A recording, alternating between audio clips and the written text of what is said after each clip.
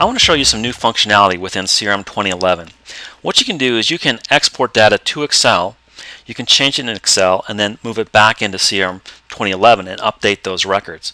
It's a pretty nice tool. Let's take a look at it. So here's my account list and what I want to do is I want to add a country name to all my account listings. So to do that the first thing I want to do is create an advanced find that includes the country name in the list. So let's do that right now. I'm going to add the columns and add the country name in there.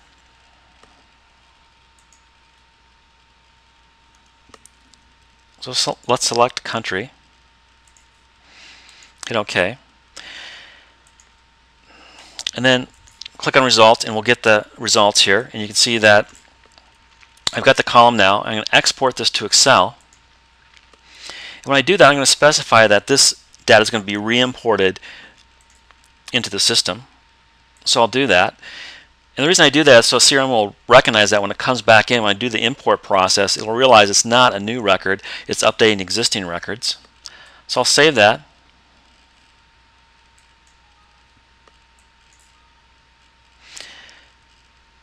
And let's take a look at it. So here's my field here. I'm going to add United States.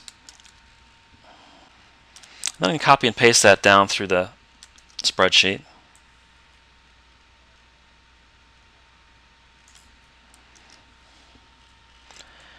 And I want to save that.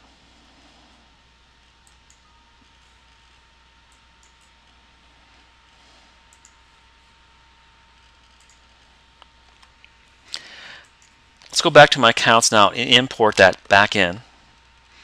Import the data. Here's a spreadsheet with the changes. Hit next.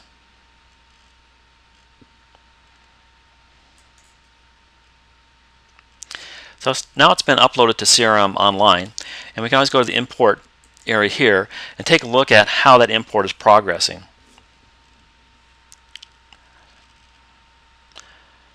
I can refresh it here. I've got total 50 records.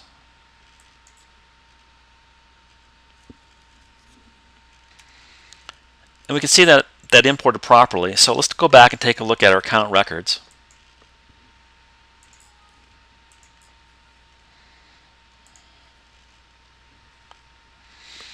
Here's an account record.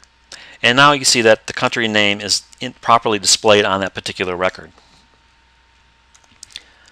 So this was just a quick example of how easy it is to export the data into Excel from CRM 2011, make some changes on that, and then import it back into CRM.